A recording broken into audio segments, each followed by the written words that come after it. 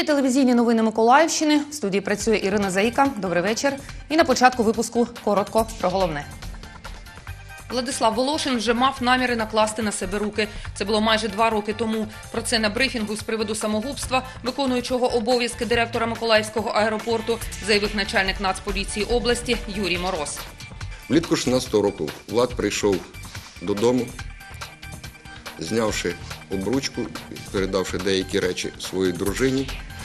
Відповідно, дружина зрозуміло запитала, що це, чого ти так. Він каже, ти мене більше не побачиш. Вона каже, чому? Я застрелюся.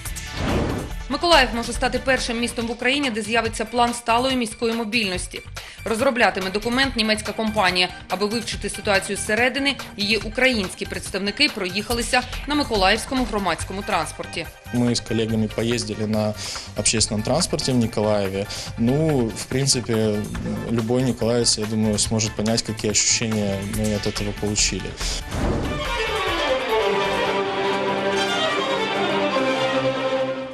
Його музичний почерк впізнає чи не кожен поціновувач класичної музики. Віват Вівальді в Миколаєві до 340 років з дня народження італійського композитора відбувся концерт муніципального камерного оркестру. Поліції вважають версію доведення виконуючого обов'язки директора Миколаївського аеропорту Влада Волошина до самогубства малоймовірною. Натомість повідомили, що він і раніше, у 2016 році, висловлював намір накласти руки. Про це сьогодні під час брифінгу розповів начальник Нацполіції Миколаївської області Юрій Мороз. Наразі у слідства є шість версій, чому виконуючий обов'язки директора Миколаївського аеропорту наклав на себе руки. Одна з них самогубство через конфлікти під час проходження служби в Збройних силах України. Його не задовільняло те фінансове забезпечення, частини, в якій він служив, е, і та кількість тренувальних польотів, які б він хотів робити. Ми всі знаємо, що Владислав був максималістом і хотів бути у всьому першим і кращим. Версію про те, що Владислав Волошина доводить до самогубства, Юрій Мороз вважає малоймовірною. Очільник обласної поліції переконаний, на виконуючого обов'язки директора Миколаївського аеропорту ніхто не тиснув. Правоохоронці вже допитали голову облдержадміністрації Олексія Савченка та його заступників. Ті спростовують інформацію про те, що вимагало Волошина підписати акти виконаних робіт в аеропорту. Цих ризиків абсолютно не існувало, так як не таких актів ні на той момент, ні на сьогоднішній день не існує. В рамках цієї версії були допитані ряд осіб, в тому числі і очільник обласної державної адміністрації, його заступник, е, допитані заступник влада, який теж сказав і чи показав, що таких актів на сьогоднішній день не існує. Правоохоронці отримують доступ до мобільного телефону та комп'ютера Волошина, завдяки чому стало відомо, чим чоловік займався до самогубства та з ким спілкувався напередодні. Зараз ці записи ретельно вивчаються. До того ж, за словами начальника Нацполіції в Миколаївській області, Владислав і раніше висловлював намір покінчити життя самогубством. Про це слідство розповіла дружина льотчика. Влітку 16 року Влад прийшов додому, знявши обручку, передавши деякі речі своїй дружині. Відповідно, дружина зрозуміло запитала, що це, чого ти так. Він каже, ти мене більше не побачиш. Вона каже, чому? Я застрелюся. Наразі слідство триває. Правоохоронці продовжують перевіряти усі версії. Призначено ряд експертиз. Світлана Кльосова, Олександр Попов, телевізійні новини Миколаївщини. А в неділю миколаївці вже вдруге за останній тиждень під стінами облдержадміністрації вимагали, аби очільника області Олексія Савченка на час розслідування самогубства Владислава Волошина відсторонили. Ні він, ні його представники до мітингувальників не вийшли. Та чиновникам про ці вимоги нагадуватимуть намальовані на сходах літачки. Вже тиждень містяни обговорюють трагічну смерть виконуючого обов'язки директора Миколаївського аеропорту Владислава Волошина. Стільки ж активно вимагають Олексія Савченка піти у відставку. Адже впевнені, провина за самогубство колишнього військового пілота лежить на керівництві облдержадміністрації. Проте досі від очільника області ні чутки, ні звістки. У нас претензии к Савченко, к его стилю управления, который приводит к тому, что э, такие люди ну, загнаны в угол. Вот в чем претензия. И это, наверное, не единичный случай. Э, были еще несколько других случаев, но мы сейчас не про них собрались, как бы, поэтому, ну, сейчас интересуют конкретно результаты расследования по э, трагедии, связанной с Волошиным. Та претензії почалися ще до загибелі Владислава Волошина. Нагадаємо, 20 лютого на сайті офіційного інтернет-представництва президента України Миколаївець Євген Воловой опублікував петицію вимогу про звільнення голови Миколаївської облдержадміністрації. Чоловік розповів, що вже вдалося зібрати понад дві тисячі голосів. он должен уйти в отставку. Петиция была опубликована задолго до трагедии, которая случилась с Владиславом. И те причины, по которым Савченко Алексей Юрьевич должен подать, подать в отставку, их вполне достаточно для того, чтобы он это сделал. Аби продемонструвати свою рішучість, активісти прикрасили сходинки, що ведуть до входу Миколаївської обласної адміністрації білими літачками. Малювали фарбою, тому викинути їх у смітник, як минулого разу, не вдасться. –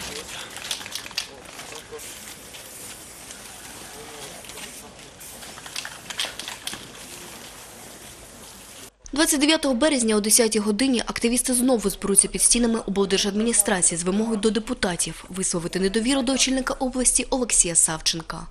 Світлана Кльосова, Артем Белібов, телевізійні новини Миколаївщини. У Миколаєві піймали на хабарі екс-директора державного підприємства Миколаївський суднобудівний завод Федора Петрова. Ціна питання 60 тисяч гривень.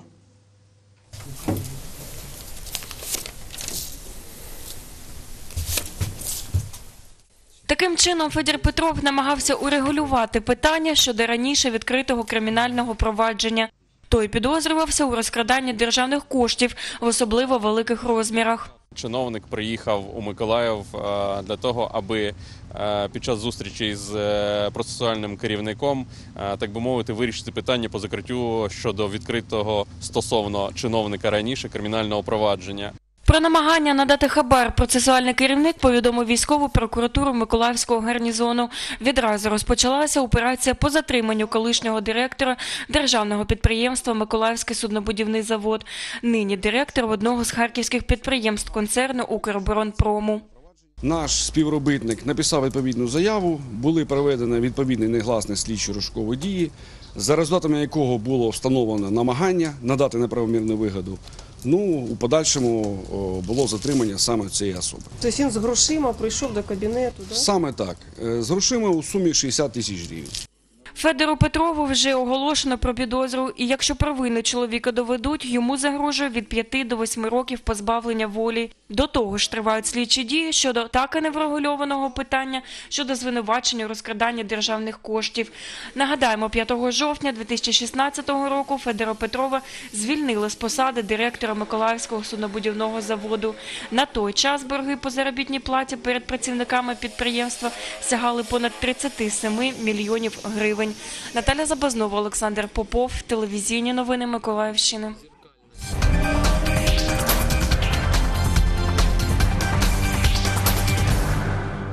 Дорогу з Кропивницького на Миколаїв перекрили місцеві жителі. Рух заблокували жителі села Босіяцьке Миколаївської області. Люди вимагають відремонтувати дорогу, ями там місцями сягають метра глибини. Через протест утворилися затори із фур. Перекривати дорогу почали сьомої ранку. Люди ходили безперервно пішохідним переходом і не пускали транспорт. Рух заблокували відразу у чотирьох напрямках на Миколаїв, Кривий Ріг, Кропивницький та Вознесенський. По обіді почали пропускати рейсові автобуси та легковики. Поговорити з місцевими жителями приїхав заступник начальника служби автомобільних доріг у Миколаївській області Михайло Ганич.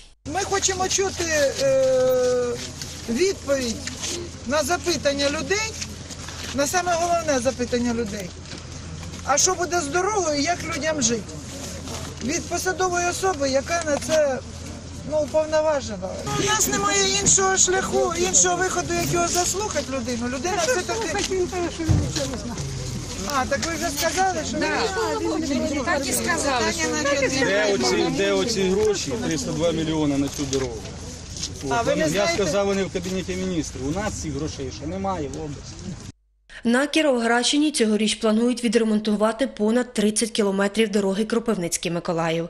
Про це повідомила речник служби автомобільних доріг в області Жанна Петрович. Цього року служба автомобільних доріг Кіровоградської області запланувала ремонт на двох відрізках в межах е, Компанійського та Кіровоградського районів. Це відрізок кілометр 70-84 та другий відрізок кілометр 84-103. Загальна орієнтовна вартість е, станом на сьогоднішній день е, з цих двох ділянок становить трохи більше 166 мільйонів гривень. Не можу сказати дату, коли ми почнемо е, ремонт. Це залежить від того, як у нас складеться ситуація з торгами.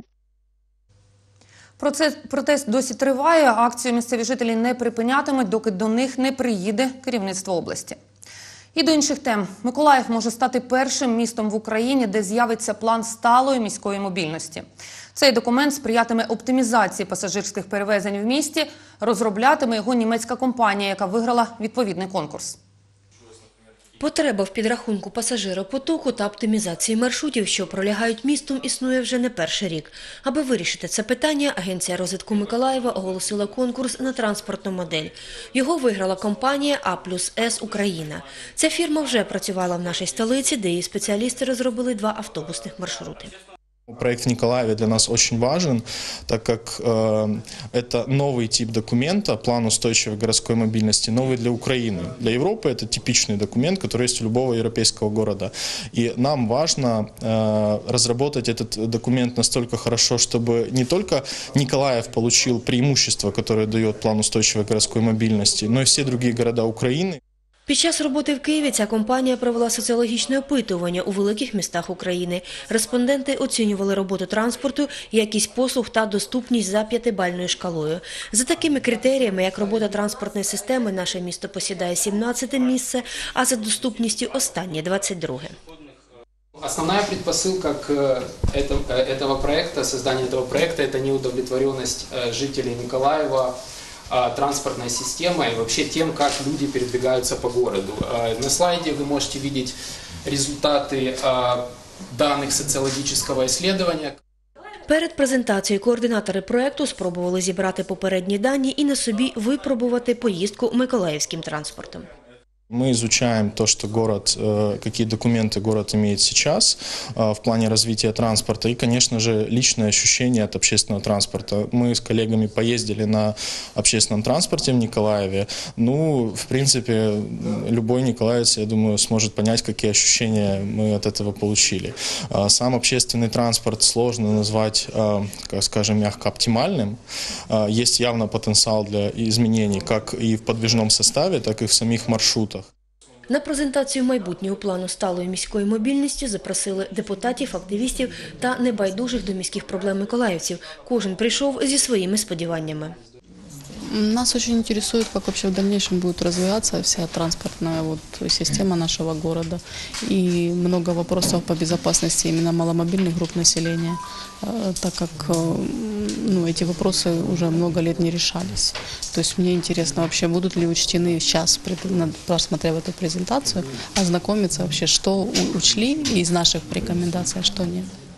Подібні зустрічі координатори проекту планують організовувати щомісяця, щоб громадськість бачила всі етапи роботи над планом сталої міської мобільності. Готовий документ обіцяють представити до кінця 2018 року. Олена Міщенко, Артем Білібов, телевізійні новини Миколаївщини.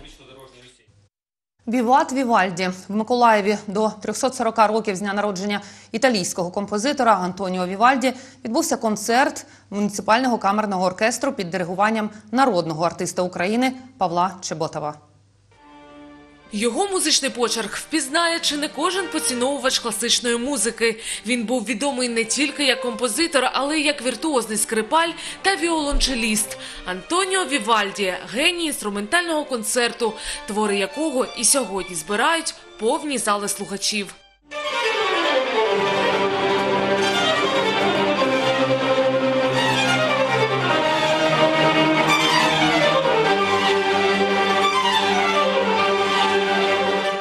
Залі Палацу культури лунає концерт номер 2 літо з циклу пори року. Мій улюблений твір це пори року. Він якраз е, лунають його фрагменти. І е, це Італія, італійська мова. Я теж е, захопилася італійською мовою. Це Маргарита, їй 19, на концерті класичної музики вдруге в житті. Дівчина вчиться на педагога, але без музики свого життя не уявляє, адже й сама володіє двома музичними інструментами. А ще каже, що твори італійського композитора надихають її на творчість. я знаходжу в музиці натхнення для поезії. Я пишу вірші, і ось, наприклад, позавчора мені на думку спав. Е, Нова, нова тема вірша французько французькою мовою. Любов матері, матері, любов, любов е, всього, всього навколишнього, що іноді зігріває У програмі концерту найвідоміші твори Антоніо Вівальді у виконанні солістів муніципального камерного оркестру. Для музикантів сьогодні теж неабияка подія. Вперше з ними на сцені Павло Чеботов, народний артист України.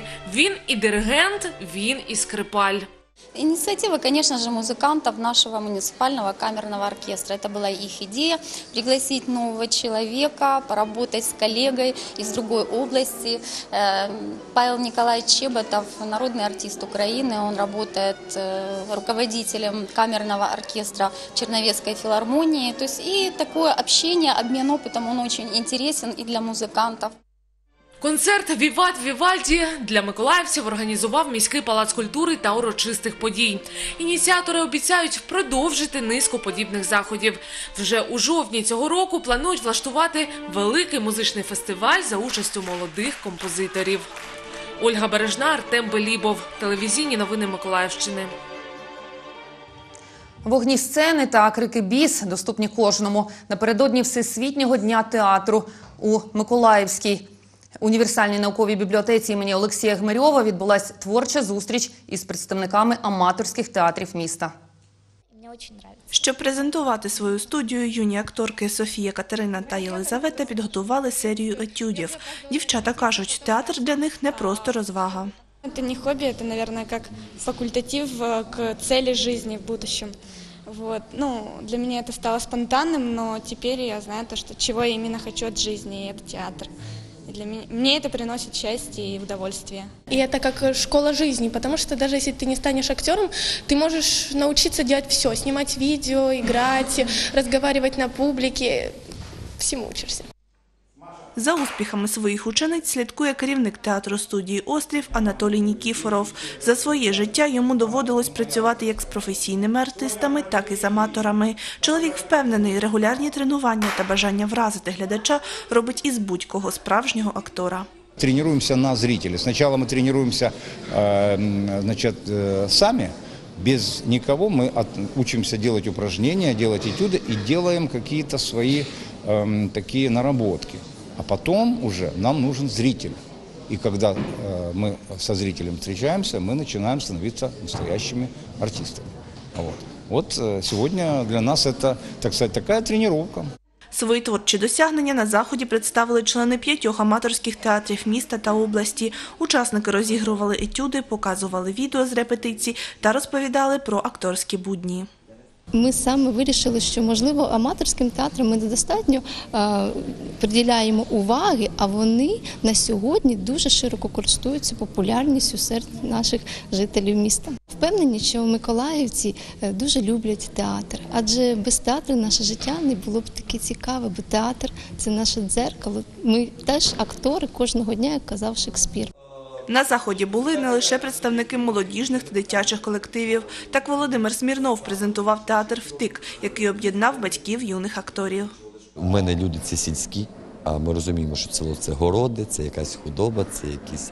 Але мої люди знаходять час, знаходять е, на, репетиції, на поїздки, відпрошуються. Навіть я знаю, що в мене зараз актори, які підбирають роботу, вони вже влаштовуючись на роботу, вони кажуть, я займаюся театром, якщо я буду їхати на гастролі, щоб ви знали, що я буду їхати на гастролі, бо у мене репетиції. Шукають роботу, щоб співпадала з заняттями в театрі студії втик.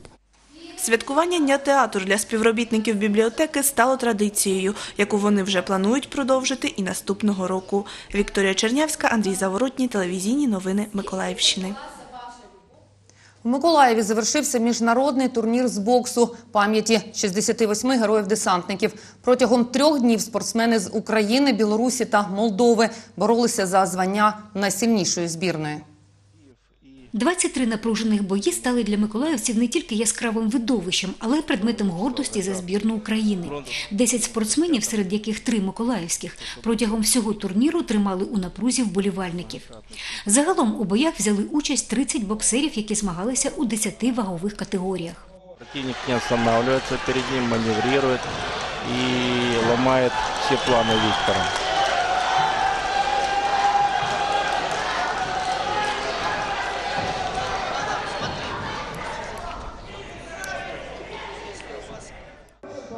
Закриття турніру перетворилося на яскраве шоу.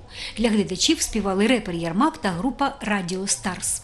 А підтримати українських спортсменів приїхали олімпійський чемпіон Олександр Абраменко, чемпіон паралімпійських ігор Максим Яровий та міністр молоді та спорту Ігор Жданов. За підсумками боїв золото виборола збірна команда України. На другому місці боксери з Молдови, бронзу отримали білоруси. Таким був цей понеділок, 26 березня. Я з вами прощаюсь і бажаю вам гарного вечора.